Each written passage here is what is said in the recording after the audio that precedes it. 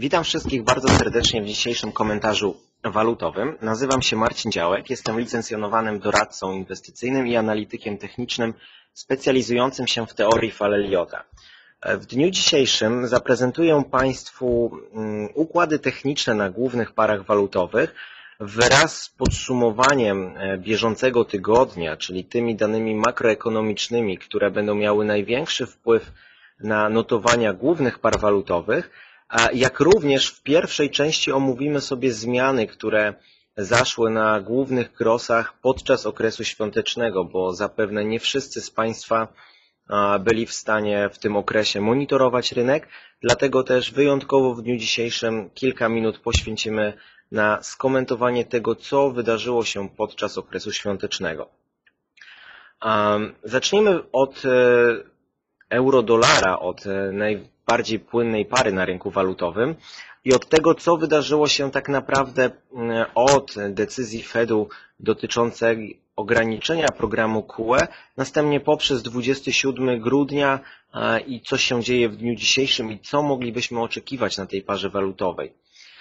Mianowicie na ostatnim grudniowym posiedzeniu Fedu zostało ograniczony program skupu aktywów, na razie o symboliczną kwotę, jednakże jest to ewidentne zapowiedzenie bardziej jastrzębiej polityki pieniężnej Fedu. Oczywiście wszyscy przedstawiciele FOMC, czyli tego Komitetu Otwartego Rynku, ciała decydującego o polityce Fedu, studzili emocje mówiąc, że nawet jeżeli QE zostanie ograniczone czy wyzerowane, to i tak stopy procentowe pozostaną na zerowym poziomie przez bardzo długi czas. Reakcja rynku e, po środowej decyzji do piątku to spadki przeszło, e, przeszło dwie figury spadków, Później to, co można było się spodziewać, czyli okres świąteczny i zdecydowany spadek zmienności. Natomiast bardzo ciekawa sytuacja nastąpiła 27, 27 e, grudnia. Rynek był wtedy bardzo płytki, to znaczy niewiele mm, osób handlowało, niewiele kapitału było na rynku.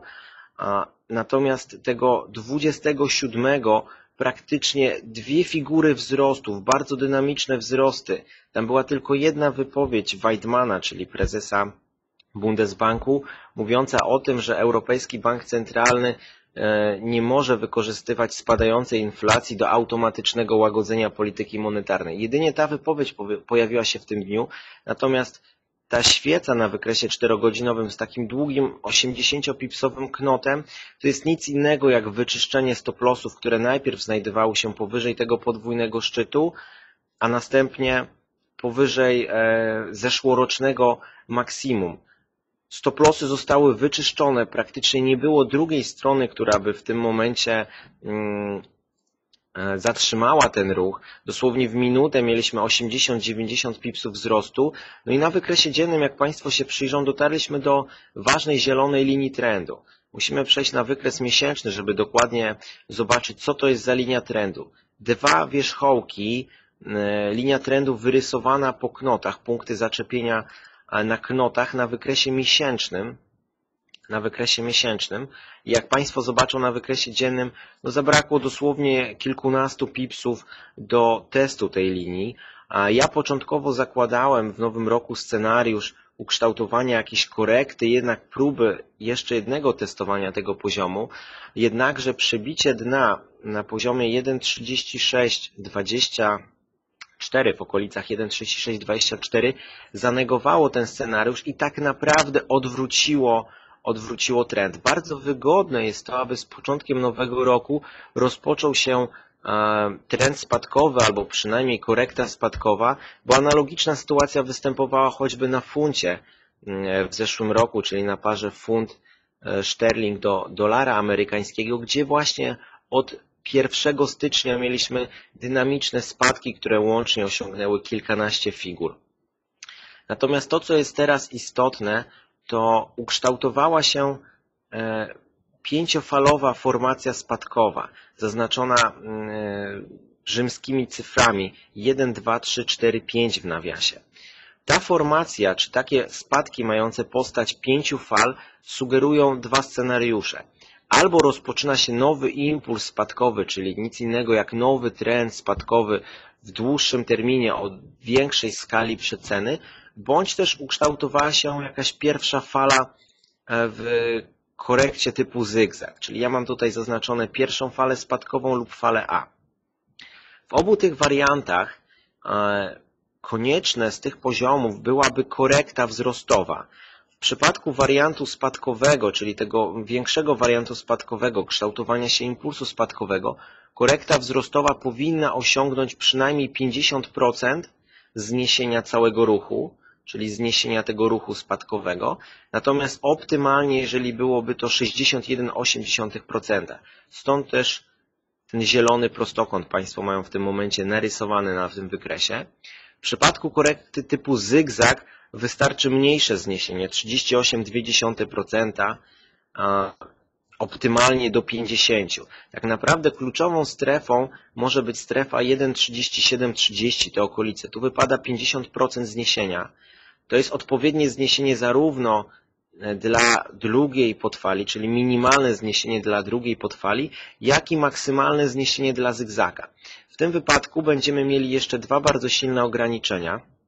Mianowicie, jak zobaczymy na wykresie tygodniowym, linia trendu spadkowego, mianowicie zupełnie inaczej wyrysowana. Linia trendu spadkowego wyrysowana w ten sposób, czyli po dwóch takich szczytach. Ona została przebita, więc nie jest to tak istotny poziom.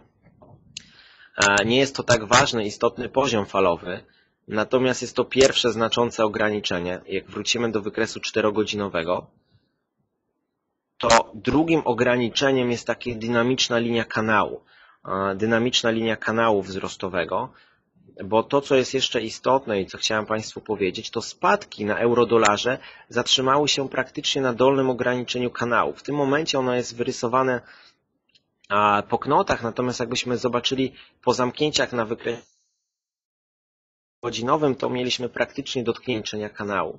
Natomiast moim zdaniem w tym momencie, tak jak opublikowałem dzisiaj sygnał FX, e, kurs skorygował się do bardzo ważnej średniej kroczącej. To jest na wykresie czterogodzinowym średnia krocząca dziewięciookresowa przesunięta o 5 czy zasunięta o 5.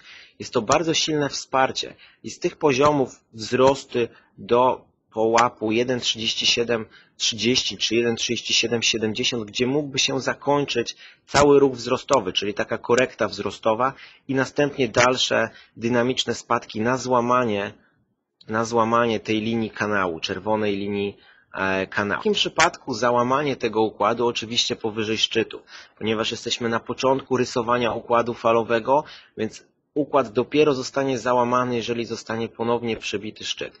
Natomiast biorąc pod uwagę dane fundamentalne, taki scenariusz może być mało prawdopodobny, czyli mało prawdopodobny byłby scenariusz przebicia szczytu.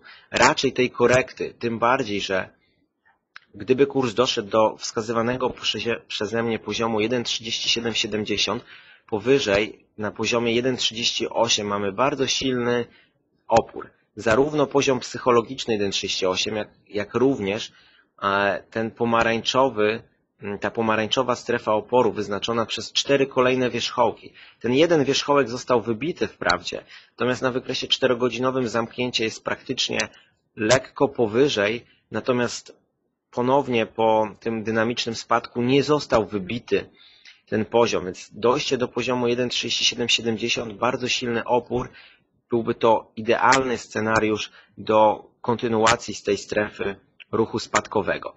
Przyjrzyjmy się danym fundamentalnym, które mogą w jakimś stopniu pomóc w realizacji opisanego scenariusza. A mianowicie w dniu dzisiejszym kalendarz jest pusty, więc zmienność może być niezbyt e, duża, może być poniżej tak naprawdę długoterminowej średniej zmienności. Wprawdzie publikowanych jest wiele danych, natomiast ich istotność jest niewielka.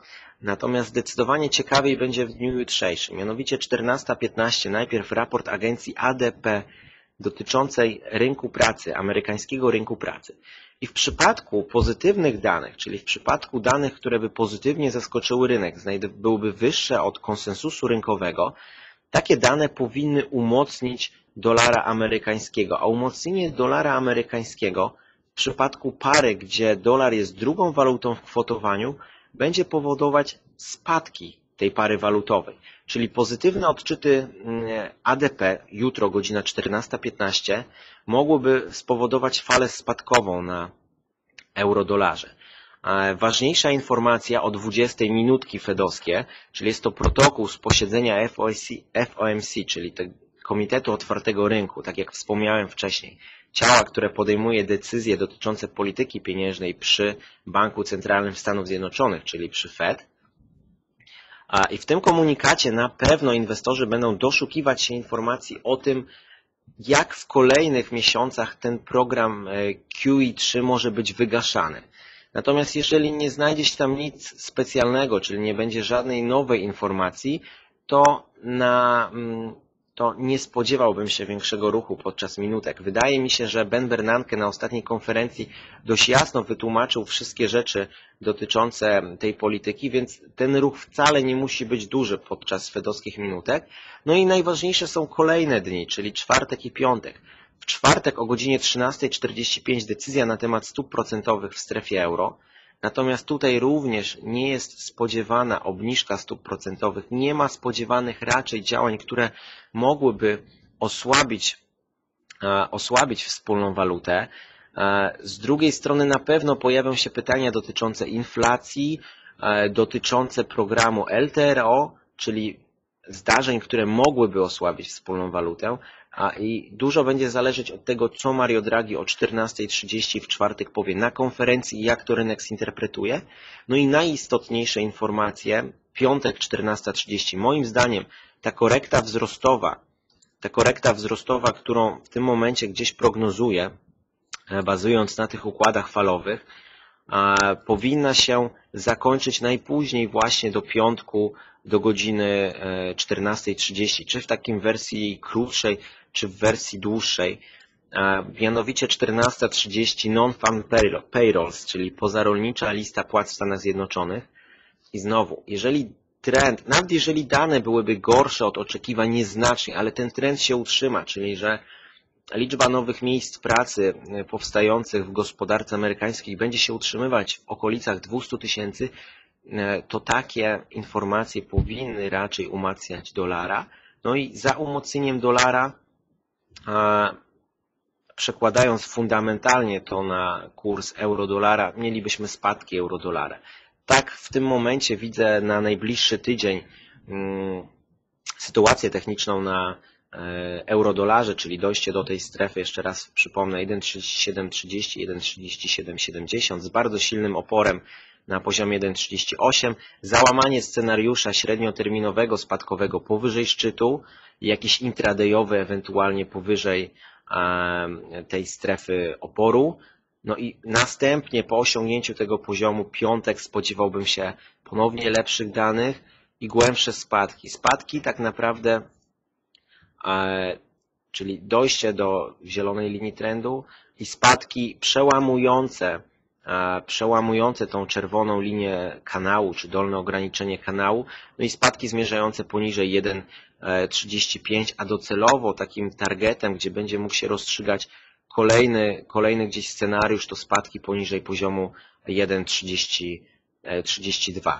Odmierzając równość falową, odmierzając równość falową po dojściu do powiedzmy połowy tej strefy, no spadki wypadają na poziomie 1,3420, więc potencjał spadków e, bardzo duży na tej e, parze walutowej. Zobaczmy sobie teraz kolejny kurs, mianowicie kurs funta, który również nie wytrzymał tych bardzo silnych spadków, które na euro-dolarze w ostatnim czasie miały miejsce. Mianowicie funt ukształtował pięciofalowy ruch wzrostowy, jako fala pierwsza, druga, trzecia, czwarta, piąta i następnie w dniu wczorajszym przełamał, załamał on impuls. Ja spodziewam się również, że dopiero mamy ukształtowaną falę trzecią na szczycie, dopiero falę czwartą i kolejną falę wzrostową. Natomiast impuls został załamany, scenariusz wzrostowy został prawdopodobnie wykończony, przynajmniej w pewnej formie, czyli korekta WX, Y, XZ została najprawdopodobniej zakończona. Ja nie mówię, że zakończył się długi terminowy ruch wzrostowy na tej parze walutowej. Natomiast przed ewentualnymi dalszymi wzrostami konieczna byłaby głębsza korekta. W tym momencie mamy ukształtowaną najprawdopodobniej falę A. Proszę zobaczyć, gdzie kurs się zatrzymał. Jest to bardzo istotne miejsce. Jest to dolne ograniczenie kanału wzrostowego, wyrysowanego po zamknięciach. Na wykresie liniowym dwa zamknięcia. Do tego momentu kurs się skorygował. Na wykresie dziennym również krzyżowały się tutaj dwie średnie kroczące, ale co istotniejsze, na wykresie 4-godzinowym 200-okresowa średnia krocząca. W tym momencie zabrakło siły podażowej do przełamania tego poziomu. Ja również, tak jak w przypadku eurodolara, spodziewałbym się korekty wzrostowej. Może nie tak dużej jak w przypadku eurodolara, raczej płytszej, gdzieś do tych lokalnych szczytów, czyli poziom 1,64 1,6460 mniej więcej, maksymalnie, jak przyciągniemy sobie Fibonacciego, tak naprawdę spodziewałbym się korekty maksymalnie do e, okolic 1,6470, czyli 50% zniesienia, gdzie mogłaby się zakończyć fala B w korekcie typu zygzak. I następnie przy takim scenariuszu, czyli przy dojściu do, tym, do tego poziomu, e, powinniśmy kolejne 270 pipsów spadków za, zaobserwować, czyli na dojście do zielonej linii trendu spadkowego, poziom 1,62 byłby bardzo realny, możliwe nawet, że przełamanie tego knota na poziomie e, czwartej fali oznaczonej. No i tak jak w przypadku eurodolara, znowu jesteśmy na początku kształtowania pewnego układu falowego, więc załamanie dopiero powyżej szczytu, czyli powyżej poziomu 1,6605. Natomiast potencjał spadku, tak jak powiedziałem, do zielonej linii trendu spadkowego i zobaczmy, czym jest ta zielona linia na tym wykresie. To są dwa ostatnie szczyty. Natomiast to, co będzie istotne i to, co będzie na pewno znaczące na tej parze walutowej, to ta pomarańczowa linia e, trendu, która przebiega.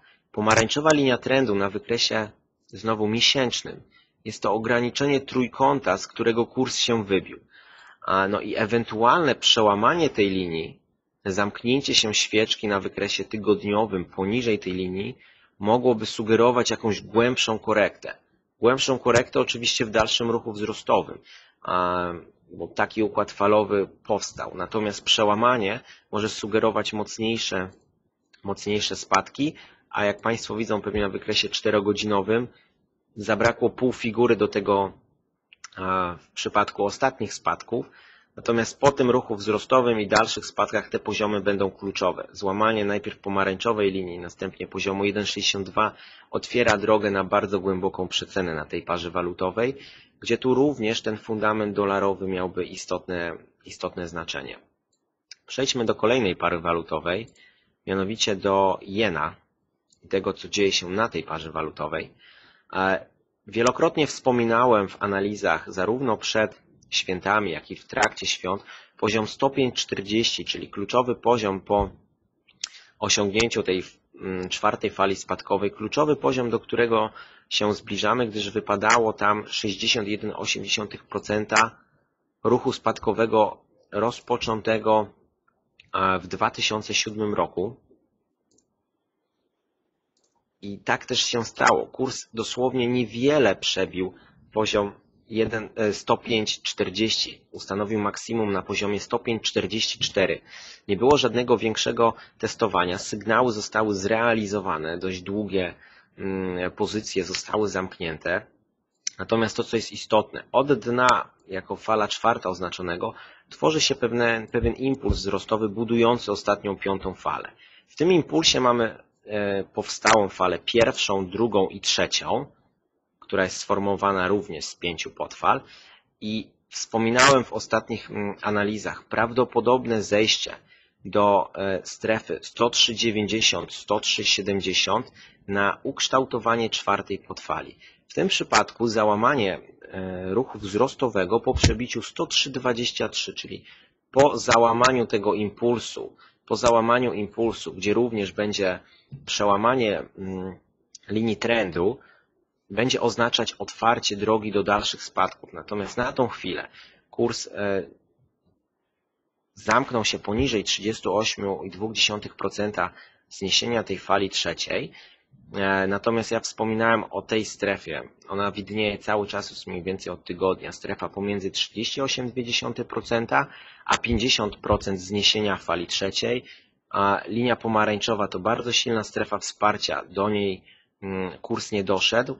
No i co istotne, linia trendu wyznaczona przez cztery kolejne dołki, też kurs jeszcze jej nie testował. Na chwilę obecną wygląda to tak, na chwilę obecną wygląda to tak, że mogła się już zakończyć pierwsza fala, następnie fala druga spadkowa i może się zaczynać kolejny impuls, impuls wzrostowy. I potencjał wzrostu powyżej szczytu na poziomie 105,45, natomiast docelowo, zobaczmy sobie na wykresie dziennym, docelowo do linii kanału wzrostowego, czyli tej czerwonej linii kanału wyznaczonej na wykresie dziennym poprzez, można powiedzieć, te trzy kolejne dołki, linia została równolegle odłożona, mniej więcej wzrosty poziom 106,20, 106,40, w zależności od tego, w których dniach to nastąpi. Taki jest potencjał wzrostu e, dla tej pary e, walutowej. Tutaj fundament dolarowy nie będzie tak istotny, raczej fundament po stronie jena, bo cały czas e, silniej osłabia się jen niż umacnia się e, niż umacnia się, e, niż osłabiał się dolar do tej pory. Natomiast to, co też jest ważne w najbliższych dniach, jeżeli trend umacniający dolara mm, będzie kontynuowany, gdzie na razie jest on bardzo niepewnie rozpoczęty, co widać na, co czego dowodem są spadki na eurodolarze. Natomiast znowu w przypadku lepszych danych e, agencji rządowej, e, Departamentu Pracy, czyli w przypadku lepszych piątkowych danych z rynku pracy, e, umocnienie dolara amerykańskiego spowoduje wzrosty tej pary walutowej. Z drugiej strony mamy fundament osłabiający jena, czyli jakby podwójny impuls wzrostowy jest możliwy na tej parze walutowej, ponieważ cały czas Bank Japonii e, luzuje politykę e, monetarną. Nie ma ani słowa o tym, aby można byłoby zacząć ją umacniać, czy zwalniać tempo ograniczenia, e, zwalniać tempo mm, łagodzenia polityki monetarnej. Wręcz przeciwnie, mówi się o kolejnych fazach do druku jena, stąd też możliwe, że wystąpi podwójny impuls wzrostowy. Ten początkowy poziom 106,20 to też będzie gdzieś dopiero początek większych wzrostów na tej parze, na tej parze walutowej. E, przejdźmy sobie jeszcze do e, dolara australijskiego w krosie z dolarem amerykańskim. Z tego względu, że kształtuje on również bardzo ciekawy układ. W tym przypadku umacniający się dolar powinien również powodować spadki tej waluty. Z drugiej strony mamy wiele słownych interwencji, które również powinny powodować e, spadki na tej walucie. Natomiast to, co jest istotne, proszę zobaczyć, na wykresie dziennym pierwsza, druga, trzecia, czwarta fala, tak naprawdę ta piątka powinna być przesunięta, brązowa fala w impulsie spadkowym, w dużym impulsie spadkowym. Na tą chwilę, tu mamy zakończenie fali czwartej, ukształtowało się pięć fal spadkowych, które można interpretować jako albo pierwszą falę w e, impulsie spadkowym, jako pierwszą falę w impulsie spadkowym, e, bądź też zakończenie całego ruchu. Natomiast moim zdaniem, biorąc pod uwagę to, co formułuje się na tej parze walutowej, czyli tą korektę złożoną WXY, raczej jest to dopiero początek dalszych spadków. E, początek dalszych spadków, bo tutaj mieliśmy przełamane dno, na, na tą chwilę dość niewyraźnie. Można powiedzieć, że kurs bronił się na tych poziomach. Natomiast ewentualne lepsze dane z rynku pracy amerykańskiego powinny osłabiać, znaczy powinny powodować spadki na tej parze dzięki umocnieniu dolara, e, dolara amerykańskiego. Natomiast na tą chwilę brakuje mi jeszcze jednej falki wzrostowej e, do zniesienia 61,8% tej fali spadkowej. To jest poziom mniej więcej 0,9030. Na tych poziomach powinny się zbiegać e, średnie kroczące 200-okresowe, prosta i wykładnicza.